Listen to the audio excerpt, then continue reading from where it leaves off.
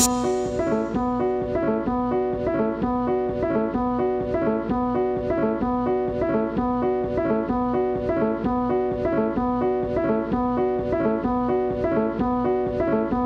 can you suggest to young designers from different countries who don't have this opportunity to participate in your exhibition, for example? Well, I would always say um, there's strength in numbers. Get together with um, with uh, a few others, create a group.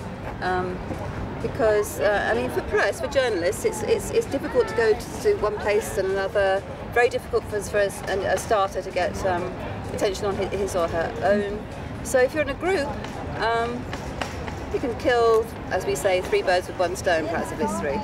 Um, the, other, the other important, well, I mean, there are many, many important ways that uh, designers can learn to build their businesses, and you know, one is you have to be very careful who you sell to, and you mustn't. Um, you mustn't accept too many orders in the first season. You should, you should just say, well, I could only sell to two or three stores, and really think about how you're going to fulfill those orders and um, and uh, deliver early.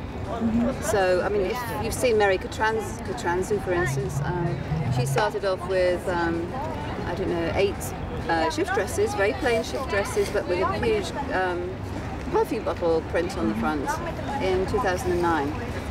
And this was in the, you know, the depths of the, recession. And she managed to sell those dresses, delivered them.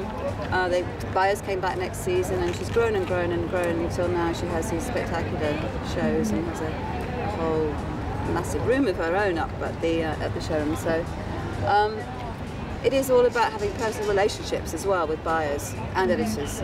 That's the most important thing: is meeting people. Um, sometimes you have a fashion show, you don't know you know who you invite, but you never get to speak to them. Um, and I think people like to they like to know what you're about, and it's part of it's part of being a personality in fashion that you have to be able to talk to people, charm them, explain your clothes over and over again patiently, and be um, um, enthusiastic and polite, make relationships. Um, John, as a person who opened the careers of many designers, what can you suggest to young designers? What to do, how to behave themselves? Right. First of all, they have to have a passion for fashion. They've got to really want to do what they can set out to do. And they've got to be willing to learn. And best of all, if they can go to a good school like St. Martin's or the Royal College to start off. And then continue. But also be try and get apprenticed to a designer in their spare time or anywhere. And that teaches them an enormous amount of respect and also the knowledge of the fashion business.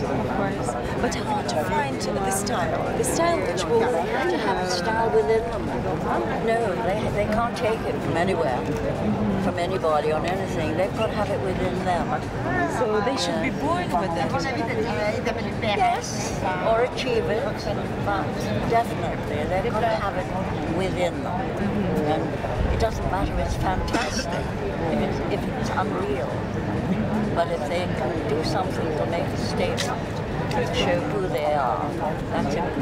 But it is possible to develop this style in the aesthetic. Yes, yes, it is, if they can grow into that. Yes, it is. The more you learn, the more it helps. And what can you also say about contemporary style in Paris? Contemporary Paris style. I love it. Define it. Look around and you can see. And you look lovely. Look at you. That style in Paris. You see, you've got the necklace, you've got the outfit. Wonderful.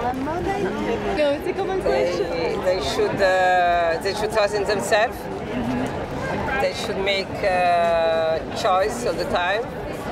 They should never give up to their dreams, and uh, and they should insist. You know, because um, very few people are ready to help young people. They have, sorry? Very few people are ready to help young people. But you, for example, read. No, I do, but you know, I'm, I'm, I'm alone sometimes. Uh, no, I think that somebody, Sarah Mower, she does very well. CFDA this year did very well. So few people they, they do, but you know what? Uh, everybody should really make an effort in helping young people. And have you been to Sarah Mower's showroom with British designers here in Paris? Yeah. What do you think about it? I think it's fantastic. She's making a great job.